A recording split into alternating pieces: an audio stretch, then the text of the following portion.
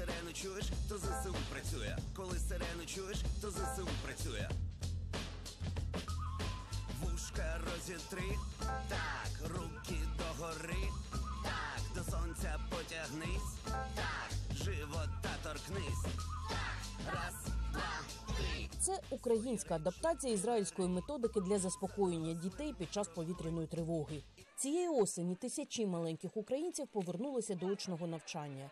1 вересня в Одеському ліцеї, який з початку широкомасштабного вторгнення працював онлайн, розпочинається зі знайомства з новим укриттям, розрахованим на 550 людей. Для швидкої адаптації до підземного шкільного життя діти справді співають.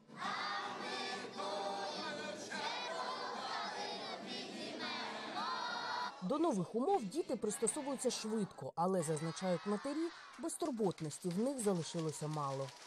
Зібраність зовсім інша в дітей вже. Вони згруповані від самого початку, а не такі розслаблені, як були ми. Хоча життя продовжується, ми водимо їх на різні кружки. Діти й самі визнають, війна їх змінила. Звісно, це впливає абсолютно на кожного з нас у певній мірі. Тобто зараз будь-який навіть гучний звук для нас для всіх є певним тригером, на який впливає на нашу психіку і на нас. Ізраїльські фахівці, які вже 20 років працюють над методиками боротьби з психологічними травмами, спричиненими війною, наполягають. Такий страх природній за обставин, в яких опинилися українці. Повернутися до функціонування, перш за все, допомагають мені знання, що це норма, зі мною все гаразд. Я не психічно хвора людина, я здорова людина, яка зараз проживає травматичну подію.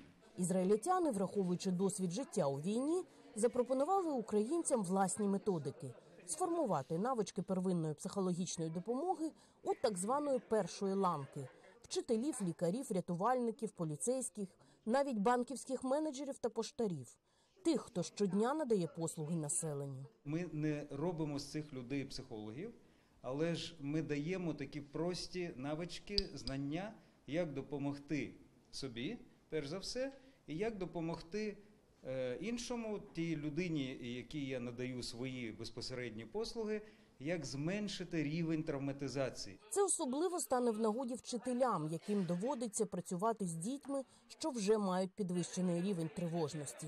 Та й самі педагоги зараз також вразливі. Їм, крім того, що в них це теж відбувається в родинах, в них є власні діти, так? а їм ще потрібно залишатися сильними і заспокоювати інших дітей. Для впровадження нової методики в Одесі відкрився міський центр стресостійкості. Перші 100 інструкторів вже прослухали курс, отримали сертифікати і готові передавати знання колегам.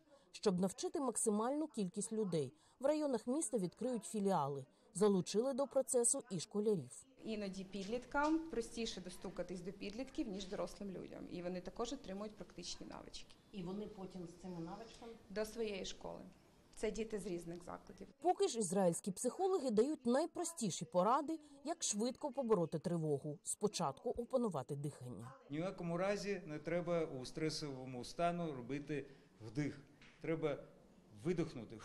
Ми інстинктивно будемо, захочемо робити вдих, вдихнути. Але ж це не треба робити. Треба взяти стан оцій стресовий під контроль. Це дуже важливо.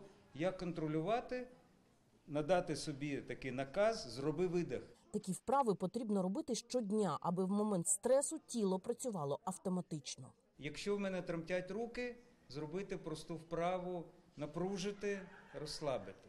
Тому що е, розслабити можна у стресовій ситуації тільки через напруження м'язів. Тобто це такий парадокс невеличкий. Одеса друге після столиці міста України, де відкрився центр стресостійкості.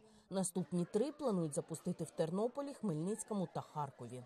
Марія Тарасова, Михайло Данілов, подробиці телеканал Інтер, марафон Єдині новини.